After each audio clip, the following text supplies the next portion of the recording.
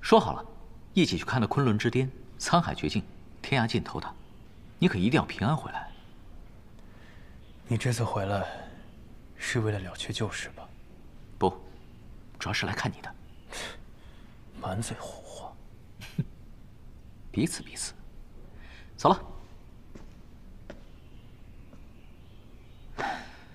期待我们再相逢的那一天。他怎么每次都是这样，想来就来，想走就走？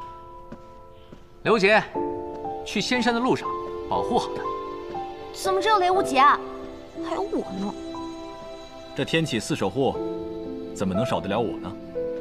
什么天启四守护啊？那都是别人强加给你们的身份，不用管。哎，那个什么青龙守护，你以为我是为了那个？我只不过是为了说出来有气势，吓唬吓唬人罢了。我帮你，是因为我们是朋友。哟，什么朋友？那自然是一起经历过生死的朋友了。萧瑟，这一点你就无需再坚持了。你想回到从前的那个你，那你就接受朋友们的帮助吧。萧大皇子，你的事情交代清楚了吗？哦。那你就跟我回去治疗吧。一个快要死的人了，话还这么多。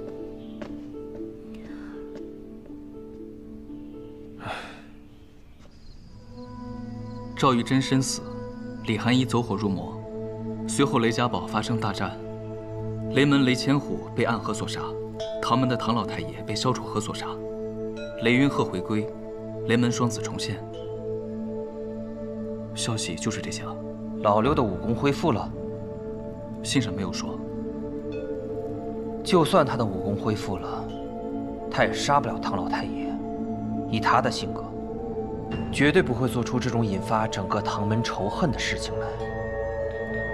此事还有诸多蹊跷，细查。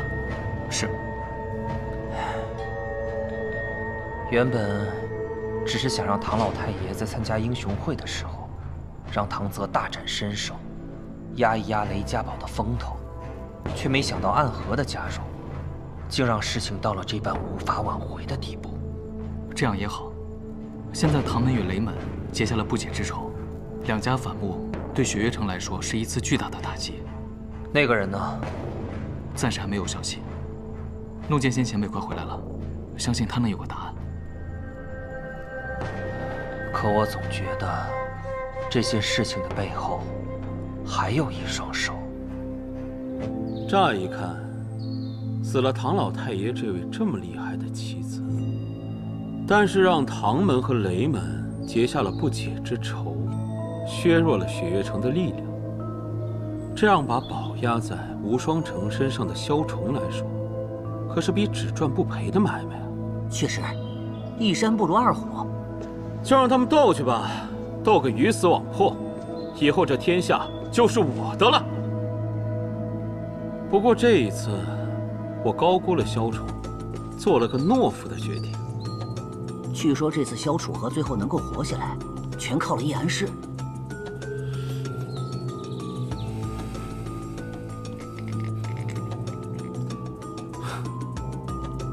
走了一步错棋。我本以为叶鼎之的孩子，应当是和我一样有野心的人。那么接下来呢？他快回天启城了吧？在他回来之前，我们得做好准备。千洛，你听我说。不听不听，王八念经，你们就是忽悠我。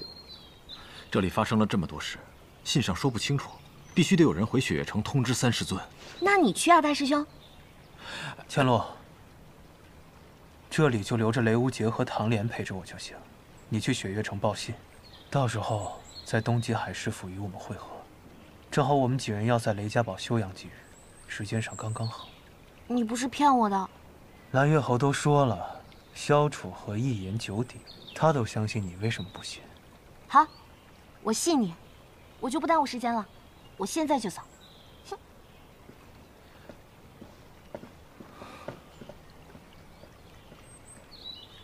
你真的要带千罗一起去？骗他的。可你明明说你是一个一言九鼎之人，听清楚，我说的是萧楚河一言九鼎，跟我萧瑟有什么关系？你的确是个骗子。我之前问过你那么多次，是不是我要等的人？可你都说不是。我又不知道你是玄武令的继承者。可你明明什么都知道。觉得为难吗？虽然那日是被迫的，但在众目睽睽之下，唐老太爷死在我的面前。如今整个唐门将视我为大敌，而你身为唐门大师兄，却扬言要守护我。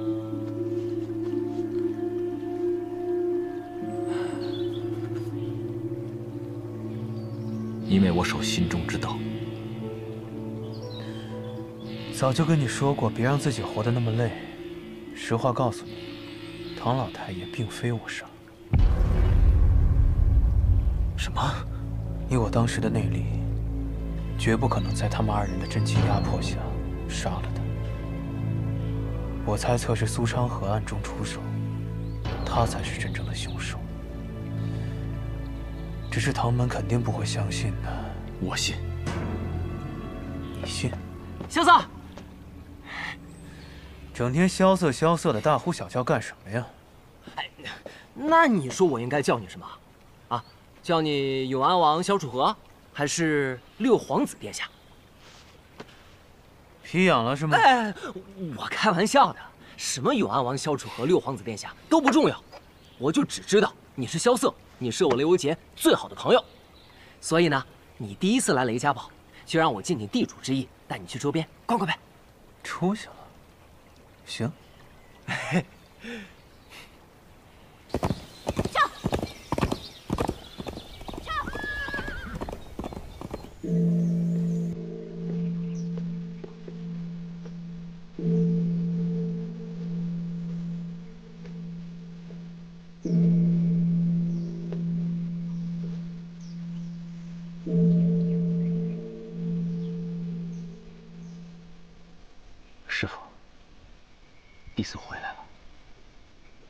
师弟，你怎么回来了？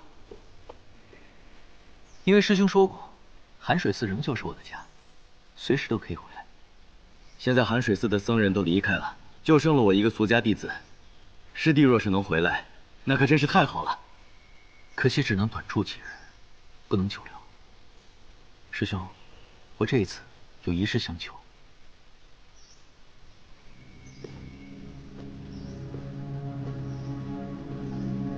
瞳孔溃散，分明神志已失。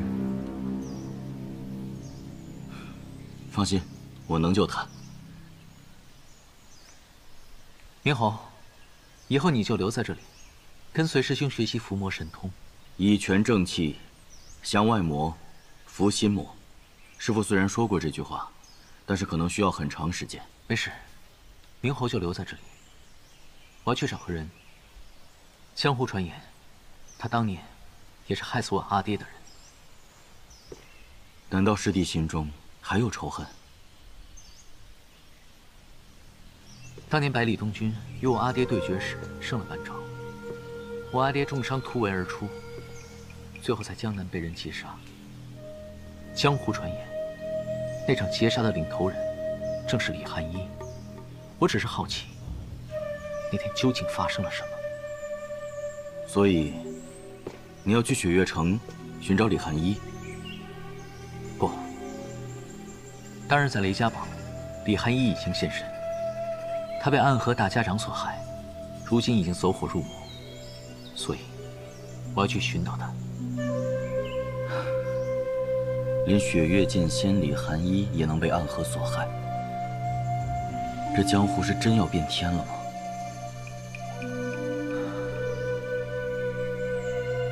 是整个北离都要变天了。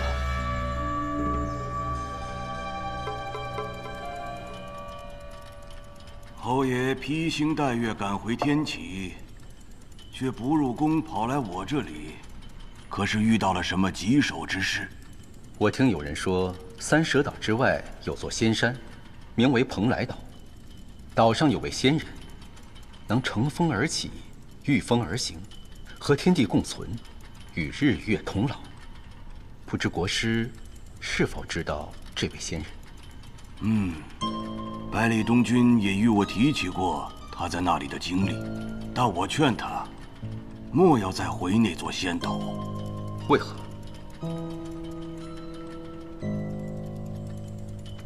此乃奇书无上录，书上称八有三成，仙分五等。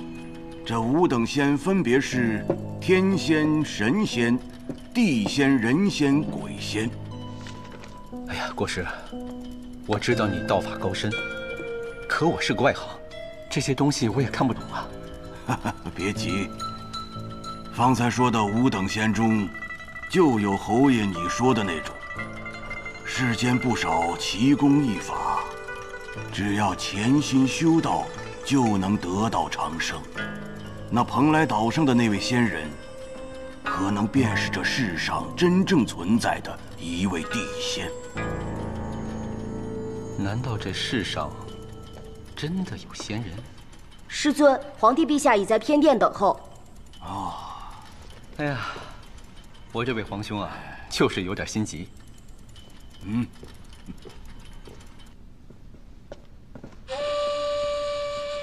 参见陛下。免了，谢陛下。小十四，回天启之后，为什么不到平清宫见姑，反倒来国师的钦天监呢？臣弟有些困惑，想得到国师的解答，才敢来见皇兄。那国师可解答了你的困惑呀？哎呀，这国师高深莫测，好像是答了。又好像没答。小十四，你只需要告诉姑，你是不是见到了楚河？见到了。为什么不把人带回来？臣弟也想把他带回来，只是楚河身边有几个人拦着。谁会有这么大的胆子？是雷梦沙将军的儿子，还有一个人姓唐，叫唐莲。啊，是唐莲月的唯一弟子，后拜入雪月城，也是百里东君的弟子。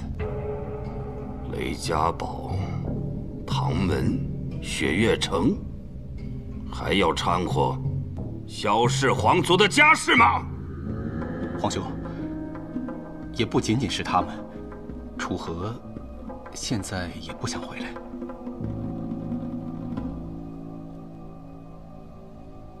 他还在怪姑吗？不，其实他是愿意回来的。楚河的一身功夫和经脉，似乎在昔日离开天启的时候被人所毁。此次在雷家堡和暗河的杀手一战，又加重了伤势。幸亏得到药王传人相救，才暂无大碍。但是要完全治愈，还得去趟海外仙岛。据说岛上有个仙人，能够治愈他的经脉。虽然路途凶险，但是楚河还是想亲自去求访。本以为他是在斗气，却没想到他竟会有这样的遭遇啊！难怪你跑到国师这儿来。仙人知道吗？回禀陛下，蓬莱岛海外仙人之事，臣只是耳闻。敢问国师，可治得好楚河的病？能保一命。好，既然国师有此一诺，那孤就放心了啊！小十四，从天启赶去东极，能否拦得住他们？皇兄，可是臣弟已经答应楚河了。哼，你倒是都敢擅作决定了！臣弟不敢。陛下，景威公公倒是可以办此趟差事。他正在去东极办事的路上。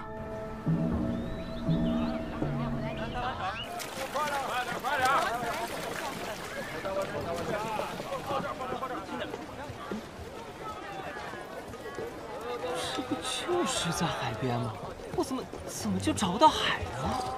公子，海在东边，我们在西边，自然见不到。啊，谢谢啊。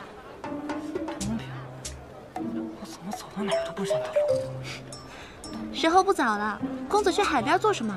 哦，我去买点吃的。海边的集市午后就关了，你买不到吃的。啊？那在哪儿能买到吃的呀？就那种新鲜的、便宜点的。去鱼市吧，那里开的晚。鱼市啊。我这点贝壳虽然不值几个钱，也能换几个铜板。啊，那你能带我去鱼市吗？好啊，走吧。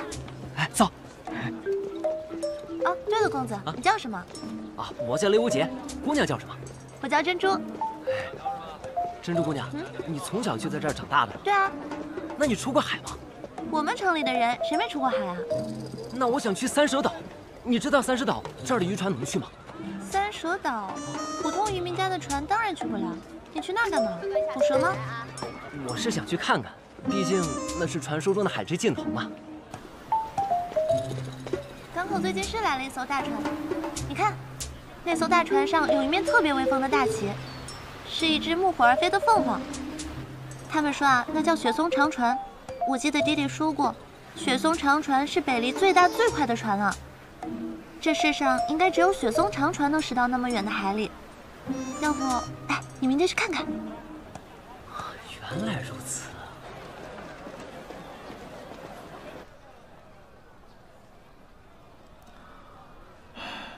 唉。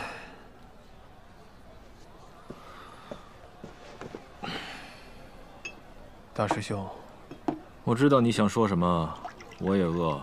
这臭小子实在太不牢靠了，这都两个时辰了还没回来，也不知道去哪儿玩了。该不会遇到什么不测？不会的，我猜这臭小子肯定迷路了。大师兄，小子，来吃螃蟹了。你可算回来了。哎呀！哎你个臭小子，让你出去买东西吃，你怎么去了这么久？哎，那可说来话长啊！我去了他们这儿鼎鼎大名的海鲜鱼市，那有这么大的乌龟，这么长的青斑鱼呢。哟，有这么大的乌龟，这么长的青斑鱼，那你就带回来一点螃蟹。那因为这便宜啊，这么大一盘，童叟无欺，只要十个铜板。雷师弟考虑的也没有错，我们出海还需要借船，也不知道得花多少银子。不要生气了，笑话！我乃雪落山庄庄主，曾经在千金台赢下过一座城池，我会坐不起船？买一艘给你都行。哎，对对对，啊，萧庄主威武，萧庄主霸气。那萧庄主这个螃蟹就是不吃了是吧？放下。嘿，那就吃吧，吃。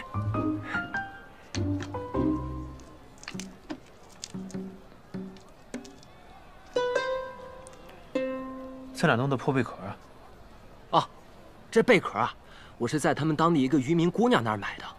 我买她的贝壳，她帮我打听船的事情。你打听到出海的船了？当然打听到了。但是啊，他们这儿的船根本不可能出那么远，那官家也不让开。不过有一艘叫雪松长船，它可以开到很深很深的海里。雪松长船？嗯。那船上还有一面很威武的旗帜，上面好像是一个木火而飞的凤凰。那个旗上的图案是凤凰羽飞，乃是青州穆家的族徽。青州穆家？青州只不过是一个范畴，正确的叫法应该是青州九城。这九城均乃商城，占据北离八成的商业，一是北离最大的经济中心。也代表了天启的财富。这么说，青州九城就是你们家的藏宝库呗？也可以这么说。九城之中，穆家被称为青州首富。哎，这客栈名叫观潮，却离海这么远。客栈又这么矮，别说观潮了，就连潮声都听不到，真是名不副实。你那说的，你那雪落山庄四面漏风，屋顶破洞，外面飘大雪，里面飘小雪，那倒是真的名副其实的很。比起大半年前的雷师弟，这不仅剑法精进了不少，嘴上的功夫也是越来越厉害了。嘿，那毕竟近墨者黑嘛。我有点想我的雪落山庄。那倒是，也不知道倒闭了没。开个玩笑呢。哎，对了，我听珍珠姑娘说呀，这个时候的鱼市是全天最热闹的时候了。咱们快走吧，我带路。啊。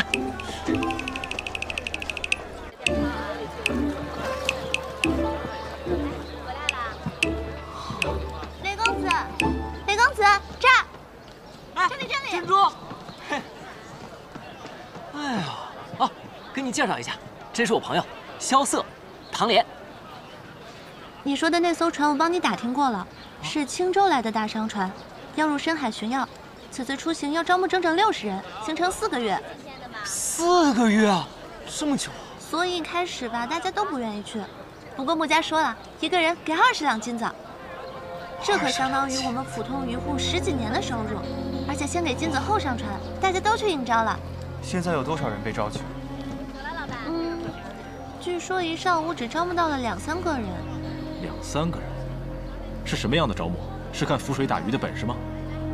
嗯，他们就在前面，要不我带你们看看去。啊，走走走走，走走。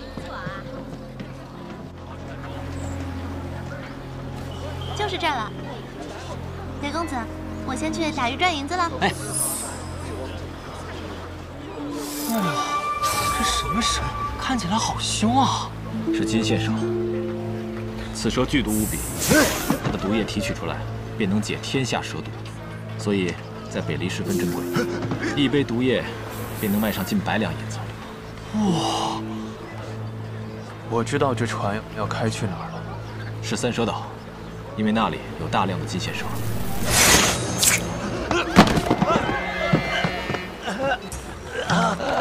这是捕蛇人，又叫蛇手，他们的衣服上撒有药粉，能够驱蛇。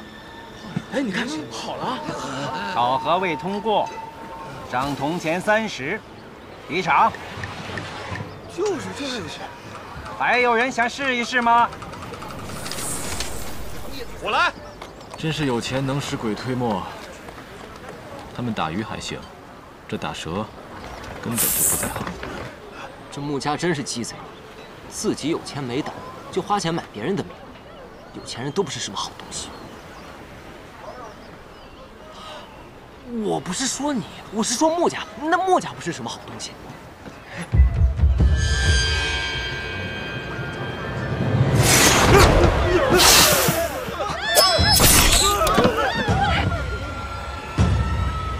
此物不可驯化，留不得。慢着！鄙人姓梁，是幕府的管家，方才人群骚乱，惊扰了金线蛇，才差点误伤了几位少侠，请各位看在金线蛇培养不易的份上，刀下留情。话你都说完了，我能不留吗？等等，刚才我这两位同伴的功夫，各位都看到了。请问我们是否通过了考核？这个，看来还是不够。雷无杰，少侠这剑，一看就是把好剑，想必身手一定是非常了得。如若各位能够加入，对穆家此行将会大有助益。少主找您，真是缘分。我们当家的也想见见各位少侠。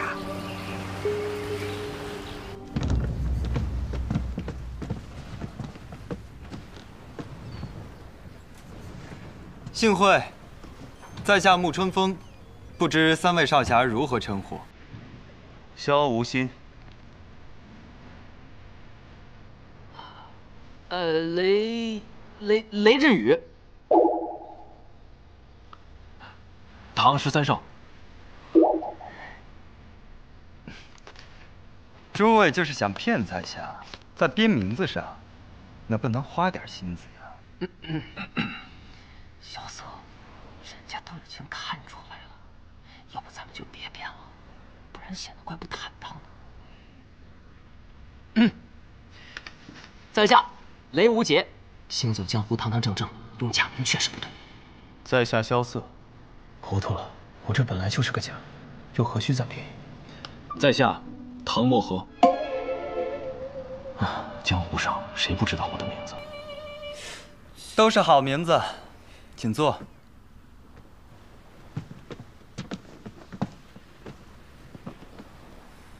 诸位少侠看着都不像本地人，不知为何来这海边小城啊？我们三个是同一个师门，我是他们的师兄。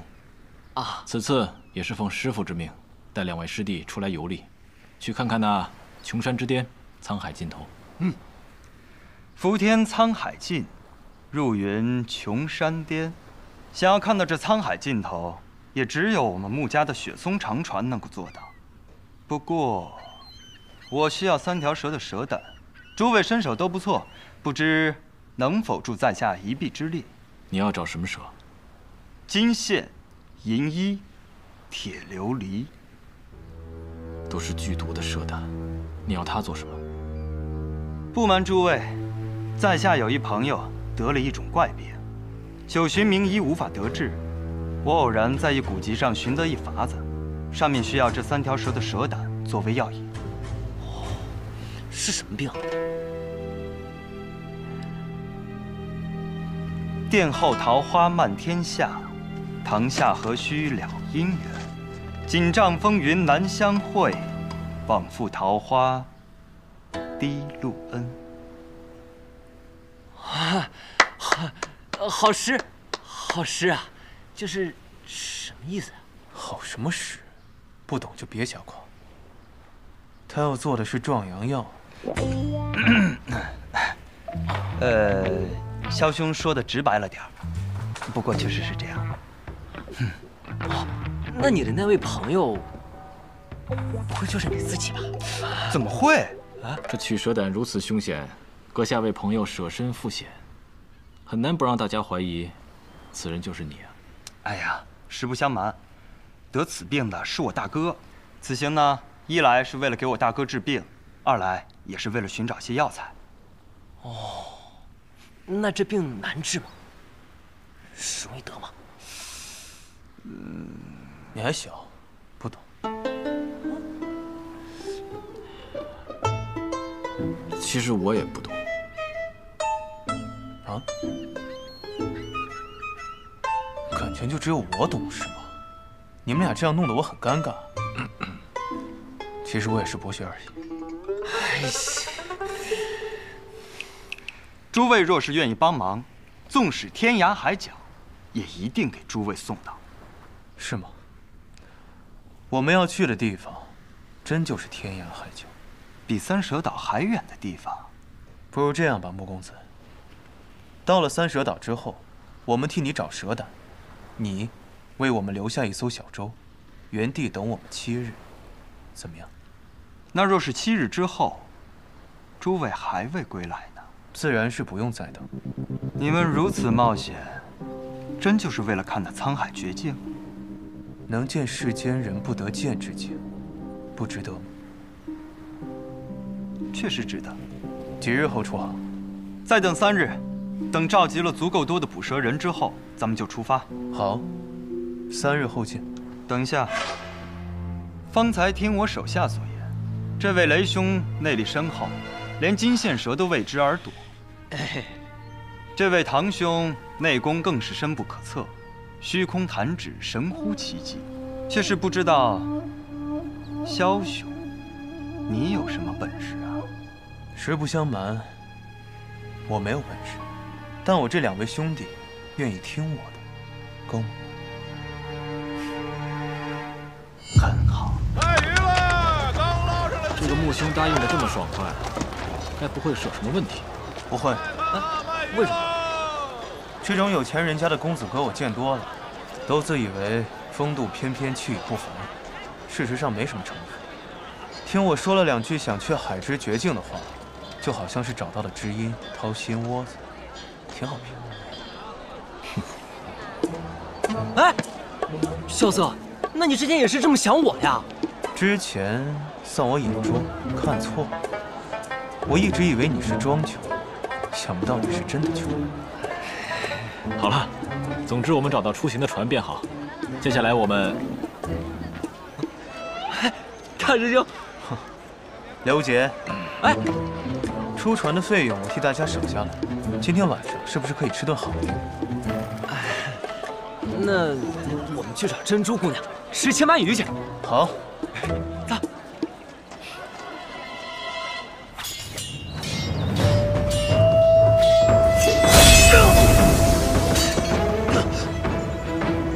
韩姨，你到底要找到什么时候？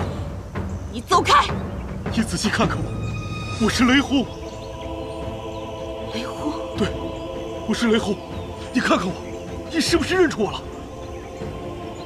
雷轰，若当年不是你们兄弟俩接连上望城山挑战，我就不会错过玉芝。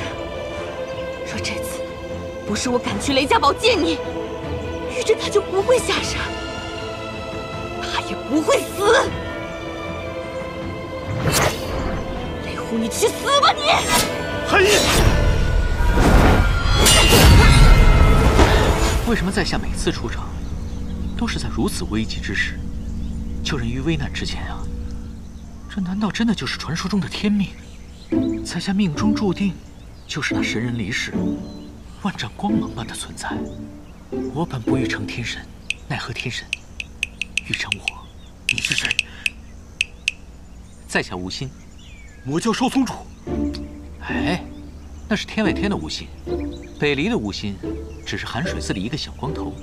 我谢谢你来救我，但是我不需要。你还是走吧。前辈误会了，在下是来找人的，救你只是顺便。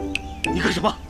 他已经走火入魔了，功力不在你之下。哎，在下的寿宴恩师做的就是这降妖除魔的行当。我来念一些清心凝神的咒，看能不能帮血液静心，恢复些神智。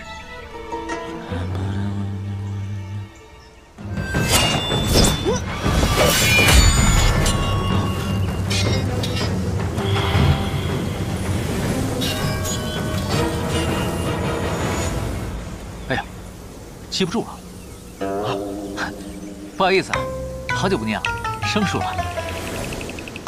算了，反正我也不是走师傅他老人家的老路。雷轰前辈，帮我拖住他，给我创造一个机会。好。就是现在！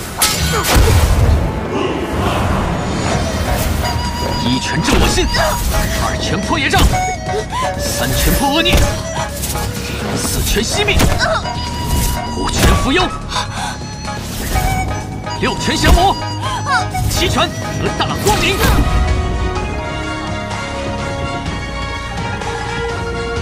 韩一，韩一，还好当年跟师兄偷学了这一套伏魔拳法，什么走火入魔，打完收工。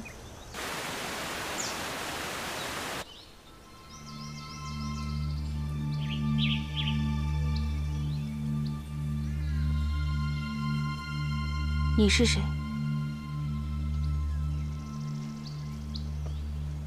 寒水寺，无心。你是叶鼎之的儿子。正是。你跟你的父亲一点儿也不像。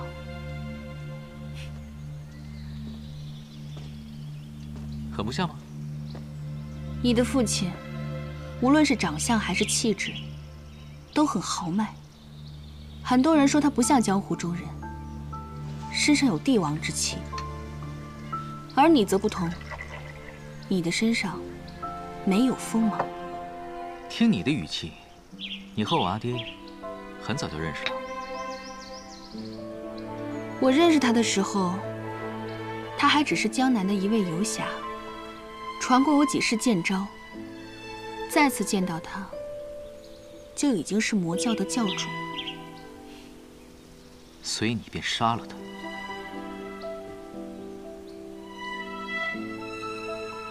你既然来问我，就说明你确信不是我。而且我杀他，那叫正邪两争，天经地义。我阿爹最后跟他接触的人是谁？一个女子。他和孤剑仙抢先我们一步到。他和叶鼎之贴面说了一句话，叶鼎之就拔剑自刎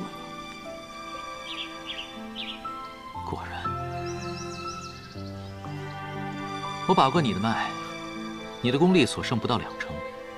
若是被想杀你的人知道，就不好了。所以，你还是先回雪月城疗伤吧。你去哪里？去我该去的地方。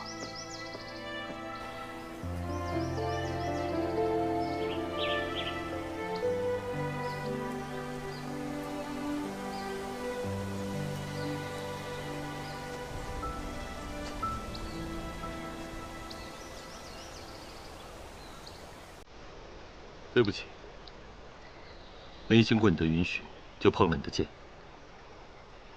他们有些脏了，我帮你擦了擦。谢谢。好久不见。你没有回过头，不还是等于没见？那是因为过去这么多年了，我并没有变得更好一些。我也不是肤浅的人，可我是。自从见到你的第一眼开始，我就喜欢上了你。这么说来，我也是这样。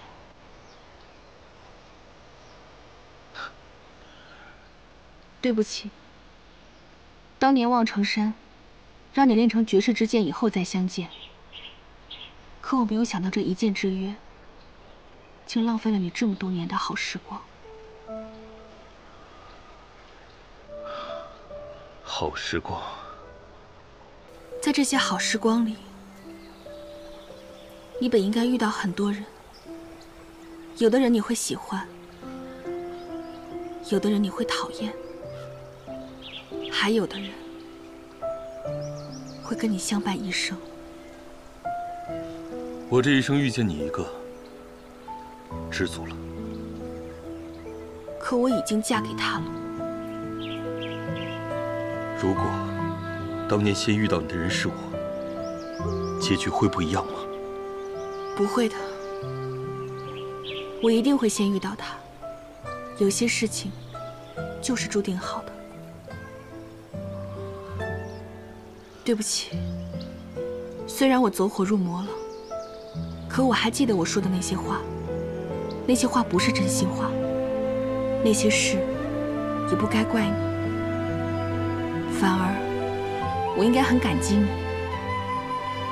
可我还是那句话，有些事情都是注定好的。再见。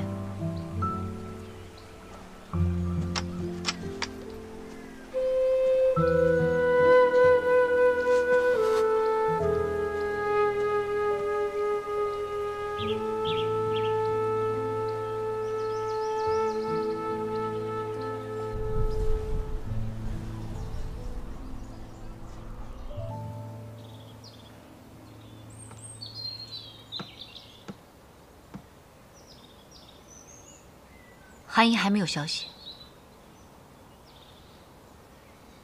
真想亲自去找她呀。最近这一连串的事情，无论哪件事情都表明有人想要瓦解雪月城。唐门现在立场不明确，雷家堡又遭受重创，想要重回巅峰需要时日，而温家又超脱世外，不与江湖纷争。雪月城三大盟友。全都靠不住，两位城主又不知所踪。你若离城而去，雪月城很快会分崩离析。在这棋局之上，我们都是棋子。是啊，可惜下棋的人已经死了。他把雪月城和萧楚河紧紧地绑在了一起。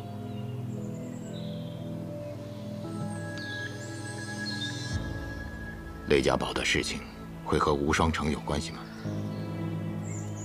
以宋燕回的性格，应该不会。只是江湖不大，雪月城失势，定是无双城崛起的最佳时机。这么看，还是有关系的。不过无论什么关系，雪月城和无双城终有一战，这个我会全力以赴去准备的。在这个之前，雪月城靠你坐镇。我明白。哎，马上就要出海了，我这还有点激动呢。你小点声，再让别人听见咱们是没出过海的土包子。那像你这么说，你去过？没去过。你也没去过。人这一生若是没见过大海，还真算不得完美。穆公子，穆公子居然也出来闲逛，看来这捕蛇的好手是找到了。嗯，差不多了。三位兄弟也尽快做好准备，我们马上就要出海。啊，行，我现在就回客栈收拾行李。等一下，我和你们一同前去，顺便逛逛这鱼市。行，走走走。要不咱们晚上吃一顿再走吧？没钱，没问题，我有钱。哎，穆兄弟客气了。哎哎，那我们去问问珍珠姑娘，这段时间她也帮了不少忙，得照顾一单大生意才行。好说。那是谁啊？看起来不像暗河的人。紫衣蟒袍是大内宦官的服饰，他是宫里的人。穆公子猜的不错啊，此人正是当世五大剑之一，掌剑剑解威公。五大剑之一，他是你们的朋友啊，跟你们一起出海，那我这艘船可真是蓬荜生辉了呀。呃，可惜啊，他是来抓我。抓你？小错。穆公子，不瞒你说，我师父乃是天启城掌香剑锦仙公，只可惜我对练武毫无兴趣，更不想净身入宫。一番争执之后，我逃出天启。这两位朋友也是我在江湖上偶遇的，若是没有他们，我连这儿都到不了。只可惜啊，在这儿又要被截住。素闻天启五大剑权势通天，想不到竟霸道至此，强迫人学武也就算了，竟然还要逼人净身，是，简直令人发指。小兄，既然你上了我的船，就是我的人，我庇护你周全。那就多谢穆公子了。公子，随我回天启吧。跟你回去，那公子不就要变成公公了？嗯，你是谁？在下穆春风，青州穆家三子。原来是穆家公子。在下无意叨扰你们穆家做生意，只不过你这队伍中有一位客人从家里逃了出去，我得把他带回去才是。还望穆三公子。那若是我们不让你把他带走呢？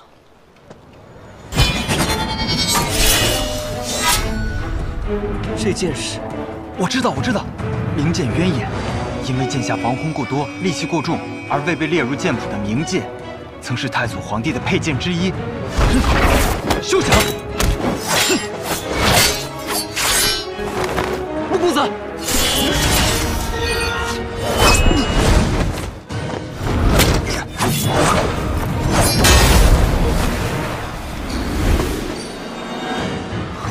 停手！动千山，动千山，十大名剑之一，洞千山。身穿金缕衣，手握洞千山，穆家还真是阔气。哼，我看简薇公公并无杀意，再打下去也没有什么意义。不如这样，你我单独找个地方聊。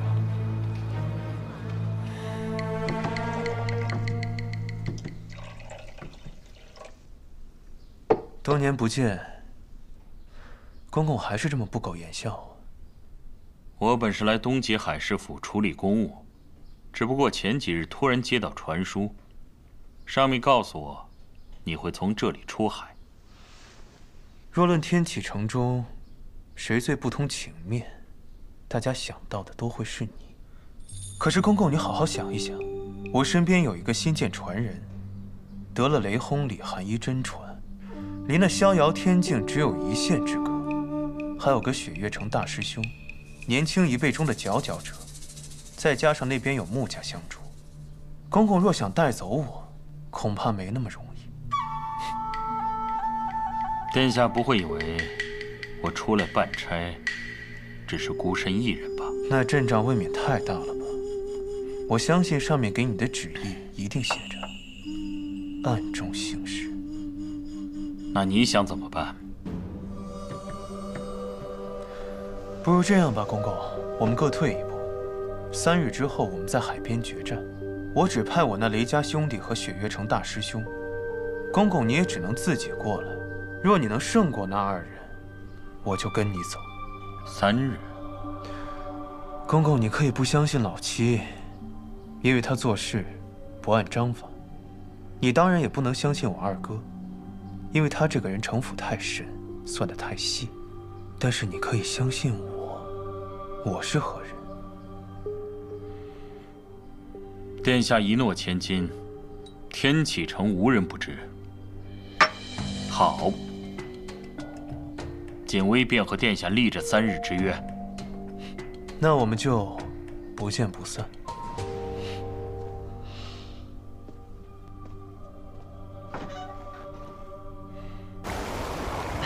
对了，萧瑟，你跟锦威公公立了个什么约？三日之后在海边决战。决战？他这都信啊？简薇眼中的我是那个一诺千金的永安王，不可能用这么卑劣的小手段。哎，这可怜的锦威公公。好啊，你个萧瑟，当时也是这么骗我的，是不是？哎，你们现在可都不能回航了，否则萧瑟就要被那个太监给抓走了。千洛，不是让你回雪月城通知三师尊了吗？你怎么又偷偷跟过来了？信鸽就能完成的事儿，干嘛非要我亲自跑一趟？而且你们还说好了在这儿等着我的，还好我没有像那个警卫一样上了你的当。萧瑟，你个大骗子！刘杰，哎，把你师姐抓住，让穆家再送一条船来把她给我送回去。好，做梦！还是算了吧。怂包！你们认识啊？这话应该我问你，你们认识？其实不太认识，只是路上偶遇，千洛姑娘说也想出海一趟，就一同随行了。哦，你肯定是看千洛师姐长得漂亮，才带她一起的吧？怎么会？在下只是敬佩姑娘年纪轻轻，却有一览沧海之心愿，甚是钦佩呀。那如果千洛师姐天生生的不美，你还会千里迢迢的带他同行？那应该不会了，毕竟路途遥远，多带一个人，就多一分累赘。那你可知，千落师姐此行并不是为了看海而来，而是为了一个人。什么人啊？他。好了，别闹了，让人看笑话。看来是我想多了。哼。哎，对了，穆兄，你之前里面穿的是什么呀？那警卫公公一剑劈下来，你就跟没事人一样。嗨，那是我穆家的金缕衣。金金缕衣？金缕衣，穆家珍宝，刀枪不入，毫无破绽。不管是十岁孩童还是军武壮汉，穿在身上都出奇的合身。这么厉害，我都没有听说过。那是因为它的价格实在太过昂贵，没人负担得起，以至于他的铸造者吴六甲和机关门全都破产了。剑是李肃王铸的洞千山，甲是吴六甲造的金缕衣。青州木匠真有钱。嗨，钱财嘛，都是身外之物。这话就只有有钱人来说。好了，我们现在该好好聊一聊了。你要聊什么？聊一聊你们究竟是谁？我们之前不都已经说过了？你们一个姓雷，一个姓唐，一个姓司空，甚至还有人姓萧。这些姓可都是北离鼎鼎大名的姓，虽然大哥说我读书读的有点傻，但我不是真傻。你知道多少？我知道，雪月城的三城主叫司空长风，惯使一杆枪，所以，我猜你是司空长风的女儿。天下皆知，司空长风育有一女，只是从未出过雪月城。说的不错。所以你也不是什么唐墨和，你是雪月城的大师兄唐莲。看来你知道的不少。没想到一下子见到这么多有名的人物。我知道你是谁了。嗯，虽然你的名气没有他们二位大，知道的人不多，但是其实我对你更感兴趣，因为你的师傅是个绝世美人儿。这你都知道？嗨，那你快说说我是谁？你就是骆明轩。我才不是那个赌鬼呢！我叫雷无极，雷家堡的雷。我师傅是李寒一，位列五大剑仙，雪月城二城主呢。你师傅是李寒一？哦，此话当真？放心吧，我们隐瞒了这么久的身份，若不是他真被你气着了，这傻子也不会跟你说实话。哦，那你是？别猜了。我虽然是雪月城弟子，但我不会武功，在江湖上更没有什么名号。我大概知道，你去雪月城是做什么的。这都猜到了。天下皆知，司空长风跟药王辛百草学过医术，乃是天下一等一的神医。你去找他是为了治病，但是看起来他并没有治好你，因为从见你的第一眼，我就知道，你是一个将死之人。你说什么？我自幼学习医术，不会看错的。他说的，是真的。是真的。我以为此行若是没有结果，我们还可以回天启。原来此行不成，一切便都是结束了。抱歉，我别无选择。所以你们此次出海是要找一个地方，而那个地方有能治好你的人。我劝你把所有猜测都停在这儿。穆某不才，略通医术，或许你们在这儿就已经找到了能治好你的人。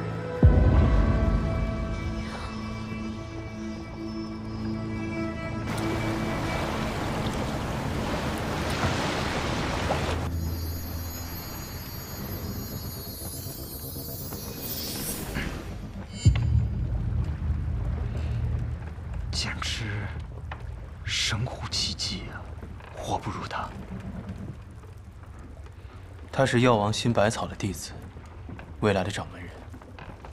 原来是药王谷的传人呐，难怪有如此医术。萧兄，在下有一个请求，这次回到北离之后，可否，可否引荐我，拜那位前辈为师？我仰慕药王谷已久，只可惜，药王新百草云游四海，飘忽不定。不过，拜在他徒弟门下，春风亦知足了。没问题。只是穆公子，你还能治吗？嗯，我若是在医，那可就是画蛇添足了。白日里还夸下海口，汗颜，汗颜呐。哎，不过萧兄，你为何不带那位神医一同出海？有他在，至少你可以一直把命给续上。海上之行凶险无比，他已经做得够多了，不能让他犯这次险。虽然我与萧兄只是初识，可总觉得相逢恨晚呐。若不是萧兄身体有恙，真想与你把酒言欢一番。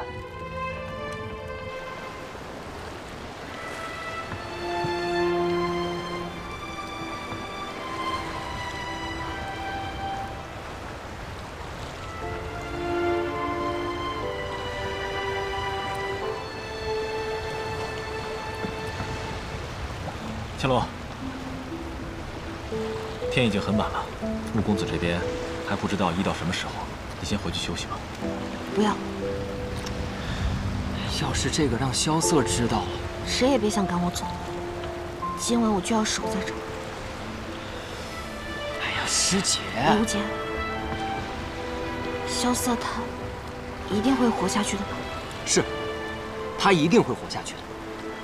毕竟，在这个世界上，像他那么小气、那么抠门的人，除了我们，也没有谁愿意收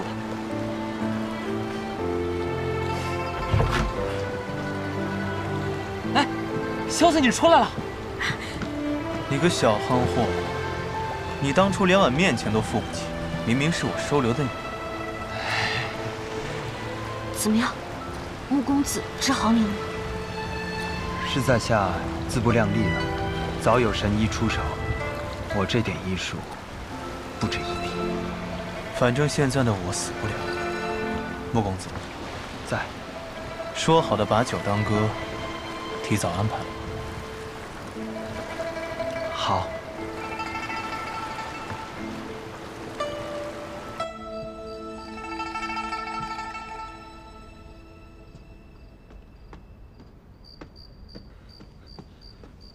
三城主，二城主回来了。啊？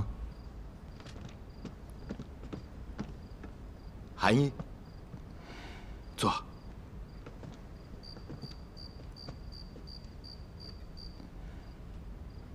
韩一，你的魔气是谁帮你去除的？无心。他怎么又回来了？他想知道叶鼎之死之前，都见了些什么人。你告诉他了？嗯。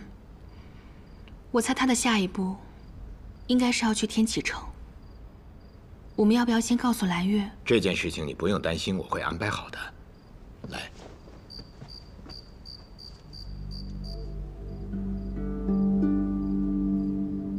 怎么样了？唉，旧伤未愈，又遭遇新伤，走火入魔，内力剩的不多了。韩一，三年之内，想要重回剑仙之境，恐怕有些困难。你要有心理准备。从今日起，不要再回苍山了，就住在雪月城。司空。哎，这件事情没得商量。我是想问小杰和萧楚河他们怎么样了？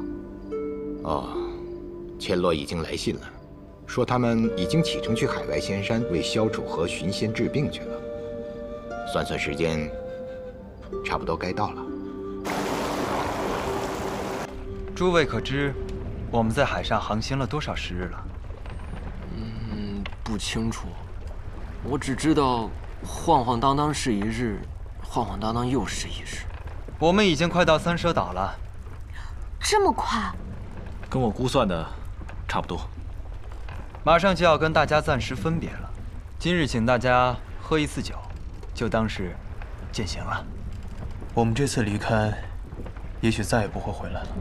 哎，海上分别从来不说不吉利的话。穆公子，你在岸上帮我们挡过一次长剑剑。是啊，那家伙居然要抓你回去做太监，是可忍，孰不可忍？我是骗你的，萧瑟，无妨。我们这一路欠了穆公子太多，若是他以后因为出手相助我而陷入险境的话，我会过意不去。那这么说，你的身份极其特殊喽？你叫萧瑟，萧，你是皇族之人？不错，我乃萧氏皇族，本名萧楚河。萧楚河，永安王，有必要这么激动吗？为何不能如此激动？现在想把我们扔下船，来不及了。你就是那个为琅琊王庇护而甘愿获罪，丢掉皇子身份流落江湖也不肯回头的永安王。好，太好了！